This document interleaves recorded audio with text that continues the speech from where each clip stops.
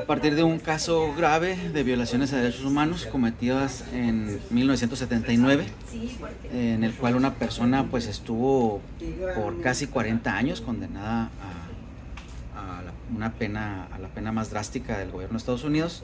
Eh, finalmente es liberada. Yo no, yo no llevo el tema eh, que se manejó allá en, en las Cortes estadounidenses. Sin embargo, eh, por una queja que se presentó ante la Comisión Nacional de Derechos Humanos, eh, se le eh, emite una recomendación,